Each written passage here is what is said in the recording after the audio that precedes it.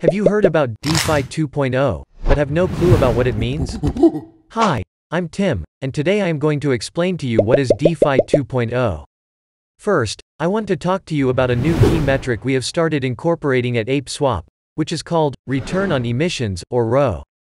Basically, ROE measures the value in banana which we are bringing in, versus the value we are emitting. This number is very important to our health and longevity as a protocol. Eventually our emission costs must be less expensive than our protocol's profitability and burn capabilities, increasing the ROE ratio to more than 1.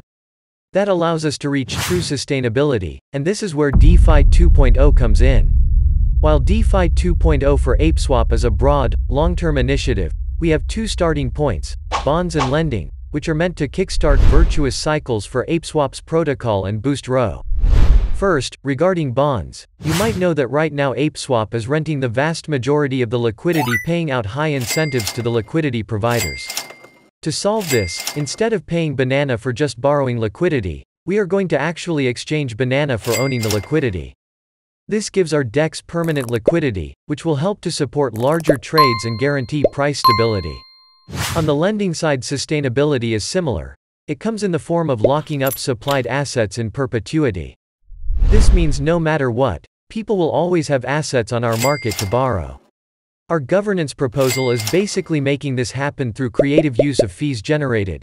90% will be destined to buy back Banana, and 10% for ApeSwap Treasury. Of the buyback amount, 55% will be locked in the ApeSwap lending network forever. So what do you say, apes? Are you ready to join us into the adventure of DeFi 2.0? Would love to hear your thoughts, questions, and concerns on our official Reddit thread, link in the description. Don't forget to like, comment, share on social media, and subscribe if you learned something, so that you don't miss the next videos.